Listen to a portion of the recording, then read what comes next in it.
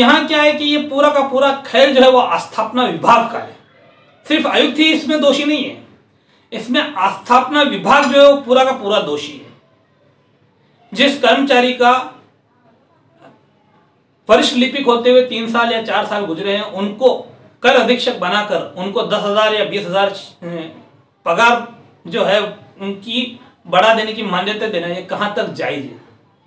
महानगर पालिका अधिकारी, कर्मचारी जब उनकी पदोन्नति होती है तो ऑटोमेटिकली उनका पे बढ़ता है। और एक तरफ़ उनके उनको एक्स्ट्रा बेनिफिट दिया जा रहा है, ऐसा बोल सकते हैं। और दूसरी तरफ़ जो लिपिक 20 सालों से कार्यरत है, उनको वरिष्ठ लिपिक भी नहीं बनाया जाके उनके साथ में अन्याय हो रहा है।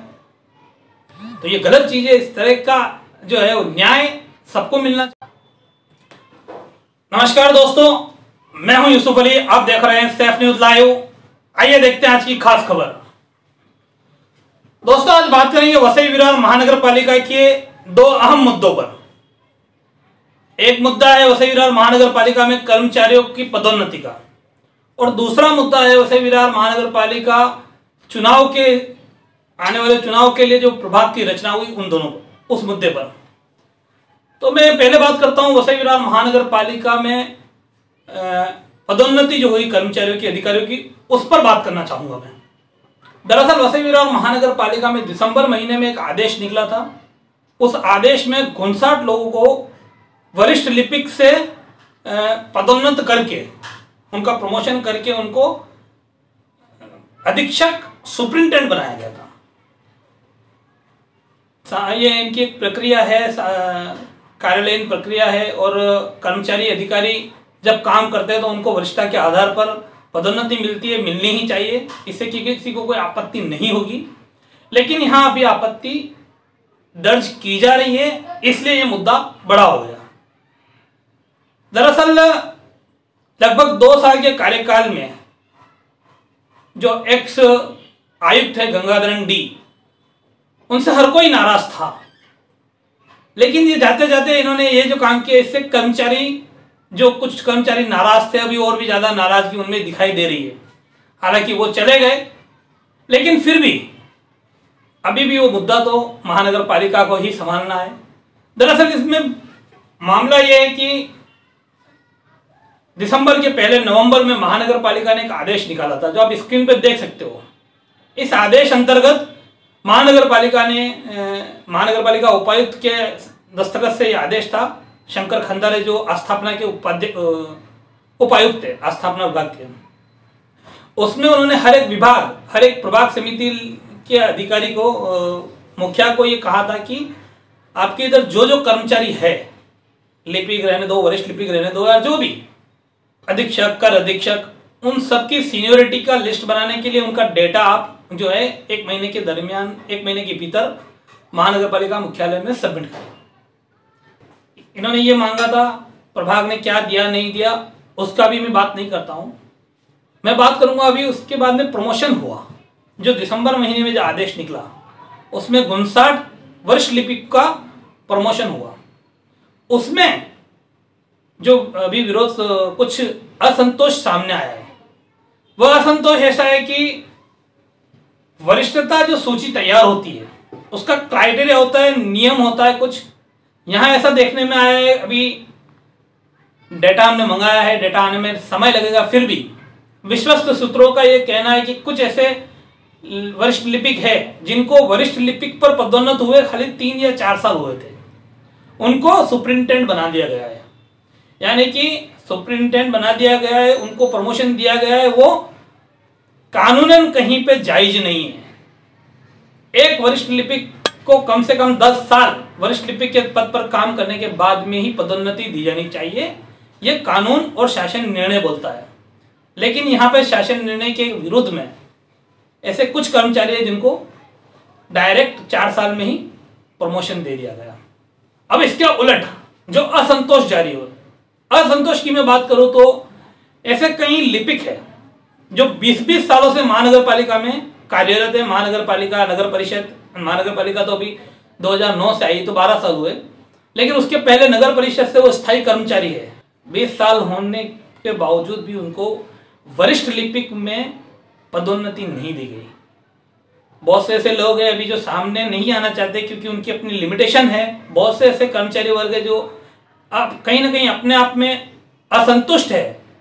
लेकिन ये बात उठाने से डरते हैं। फिर भी आज एक पोस्ट सोशल मीडिया पर वायरल हो रही है और उस पोस्ट में कहीं ना कहीं संतोष का ज़िक्र किया जा रहा है। वो पोस्ट आप देख सकते हैं। स्क्रीन पर आप देख पाएँगे, मराठी में ये पोस्ट है। तो इसमें यही लिखा हुआ है कि किस तरह से महानगर पालिका में आस्थापना विभाग में चल रहा है। उसका ज़िक्र उन्होंने लिखने वाले जो भी है, उन्होंने लिखा है, उन्होंने किया है। अब रही बात जो मैं बात कर रहा था, आयुक्त गंगाधरन डी की। गंगाधरन डी जो है, उन्होंने सिग्नेचर किए, वो आयुक्त थे, उनका पावर था, उन्होंने दिया। लेकिन क्या उनको इस सब चीज़ की जानकारी खुद ब खुद होती है? तो नहीं। इसका जवाब है कि उनको, उनके अधीनस्थ कर्मचारी जो डिपार्टमेंट संभालते हैं स्थापना डिपार्टमेंट देखने वाले स्थापना विभाग देखने वाले कर्मचारी, वही उनको सिफारिश करेंगे तो उस पर वो सिग्नेचर करते हैं आयुक्त।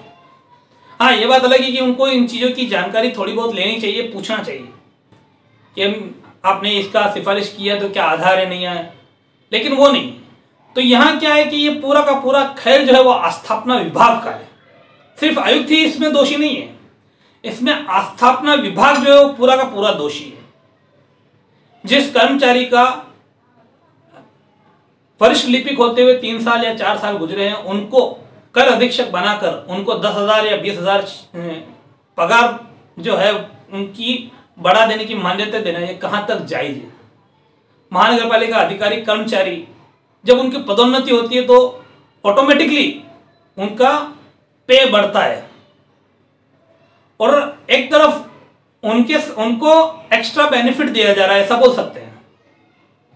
और दूसरी तरफ़ जो लिपिक 20 सालों से कार्यरत है, उनको वरिष्ठ लिपिक भी नहीं बना जाके उनके साथ में अन्याय हो रहा है। तो ये गलत चीज़ है, इस तरह का जो है वो न्याय सबको मिलना चाहिए। या तो फिर ऐसा है कि गिने चुने लोगों को किसी एक षड्यंत्र नहीं बोलूँगा, लेकिन गिने चुने लोगों को किसी एक स्पेशल बेनिफिट के तहत इस तरह के फ़ायदे दिए जाते हैं। माइकी मंगाया है इस चीज़ का, उसके बाद में पूरा खुलासा होगा कि इनमें से कौन लोग कब से कार्यरत है। और तब जब माहिती का जवाब आएगा माइती अधिकार का, तब उसका खुलासा और भी करेंगे हम। अब बात करते हैं हम बरसरी महानगर पालिका चुनाव का जो प्रक्रिया है, वो शुरू हो चुकी है और उस प्रक्रिया अंतर्गत वार्ड रचना हो चुकी है। जैसा कि मैंने दो दिन पहले भी एक वीडियो डाला था, उसमें ग्राफिक्स में और उसमें बताया था कि किस तरह से वसई महानगर पालिका में 115 के बजाय अब बयालीस वार्ड रहने वाले हैं। लेकिन अब चूँकि महानगर पालिका ने नक्शा जो है वो प्रसारित कर दिया है, वसई विरार महानगर पालिका के अधीनस्थ नौ प्रभाग समिति वहाँ पे और मुख्यालय में सब जगह पे उन नक्शे को लगाया गया है। पब्लिक जाके वहाँ विज़िट करके देख सकती है। कौन किस वार्ड में जा रहा है? लगभग तीन वार्ड एक साथ मिलके एक वार्ड हुआ है।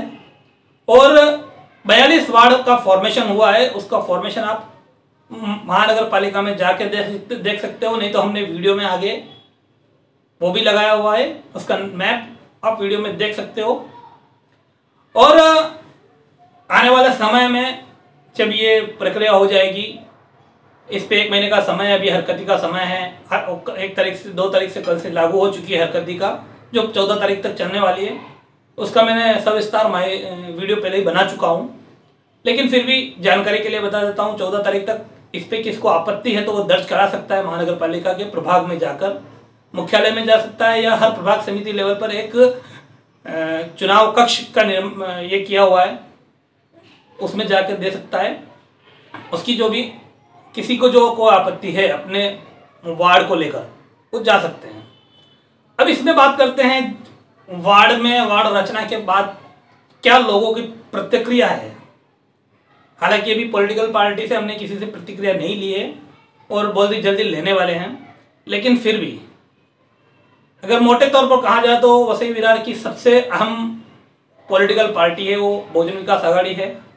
तो बहुजन विकास आघाड़ी को इस वार्ड फॉर्मेशन से शायद मुझे नहीं लगता कि कुछ उसको दिक्कत होगी, क्योंकि उसका वाटर बेस इतना मज़बूत है कि उनको कोई दिक्कत नहीं होने वाली है। उसके अलावा बात करें अगर भाजपा की तो भाजपा का अभी तक कोई इस पर प्रतिक्रिया सामने आया नहीं है। शायद हो सकता है कि बीजेपी जो है, वो समय ले रही हो इसको वार्ड संरचना को देखने के लिए। वहीं शिवसेना ने वार्ड फॉर्मेशन को लेकर कुछ कहा नहीं अभी तक, लेकिन दूसरे चैनल पर जैसे शिवसेना वालों के शिवसेना तालुका अध्यक्ष का जैसे बयान आया है, उसमें उन्होंने ये ज़रूर कहा है कि हम अपनी लड़ाई लड़ेंगे और हम सीटें अपनी निकालेंगे, जीतेंगे उनका अपना आत्मविश्वास है। तो ही, वहीं मनसे ने मनसे ने सीधा आरोप लगाते हुए एक पार्टी द्वारा की गई वार्ड रचना बोला है। और राष्ट्रवादी कांग्रेस पार्टी और कांग्रेस पार्टी का अभी तक कुछ इस पर प्रतिक्रिया आया नहीं है। अब लोग, जो ये पॉलिटिकल पार्टी है, वो किस इंतज़ार में है, ये नहीं बोल सकते ये क्या उनकी, इसके ऊपर सोच है? क्या उनकी हरकत है, ये तो बाद में आने वाले समय में मालूम पड़ेगा कि क्या वो इसको लेकर कहाँ तक सहमत है, इस वार्ड रचना को लेकर। और काफ़ी अहम है ये वार्ड रचना, क्योंकि ये वार्ड रचना ही जो भौगोलिक परिस्थिति है, उसको बदल देगी। पहले जहाँ 115 नगर सेवक थे, वहाँ अब नगर 100 नगर सेवक 126 होंगे, नौ बढ़ जाएँगे, लेकिन वार्ड बयालीस होंगे। अब इस वार्ड फॉर्मेशन का अगर हम फ़ायदा, नफा और नुकसान की बात करें तो उसके लिए ये शासन ने ये निकाला है। पैनल सिस्टम तीन नगर सभा के वार्ड में। महाराष्ट्र शासन का ये ऑर्डर है। तो शासन को कुछ अच्छा लगा हुआ उन्होंने निकाला, लेकिन जमीनी स्तर पर देखा जाए तो कहीं ना कहीं इसमें आगे चलकर बहुत अड़चने आने वाली है। इससे नकारा नहीं जा सकता। क्योंकि एक वार्ड में, एक ही वार्ड में तीन नगर सेवक रहेंगे। तो कहीं ना कहीं हित टकराव होगा। कहीं ना कहीं अगर एक ही पार्टी के तीनों नगर सेवक है तो फिर भी कोई विकास काम पास कराने के लिए इतना ज़्यादा आपत्ति नहीं होगी, परेशानी नहीं होगी। लेकिन जब अगर कोई अलग अलग तीनों नगर सेवक बैठते हैं, या दो नगर सेवक एक पार्टी के है और एक नगर सेवक विरोधी पार्टी का है तब मुश्किलें होगी, विकास के काम अटकेंगे, पैनल, और इसके अलावा जो छोटे स्तर पर आम लोगों के काम होते हैं, वो एक नगर सेवक के यहाँ तक जाएगा तो वो उसको दूसरे के वहाँ भेजेगा, वो एरिया मेरा नहीं है, आप वहाँ जाओ, दूसरा नगर सेवक तीसरे के पास भेजेगा। यानी कि आने वाले समय में जो जनता है, एक बार नगर सेवक चुनने के बाद में उस जनता को उन नगर सेवक के यहाँ चक्कर लगाने होंगे, ऐसा हम कह सकते हैं। फिर भी अभी शासन ने कुछ सोचा है और पैनल सिस्टम लागू हुआ है तो किया नहीं, कुछ नहीं जा सकता है, जो है उसी के ऊपर करना है, देखते हैं कैसा है और क्या रिव्यू लोगों के इसके ऊपर आते हैं, ये भविष्य में मालूम पड़ेगा। तो दोस्तों, आज के लिए इतना ही, और जैसे कि मैंने आपको मुद्दे की बात बताई जो मसे महानगर पालिका में अन्याय कुछ कर्मचारी वर्ग के साथ में हो रहा है तो ये गलत है। अन्याय भी नहीं होना चाहिए तो किसी को एक्स्ट्रा बेनिफिट भी नहीं मिलना चाहिए।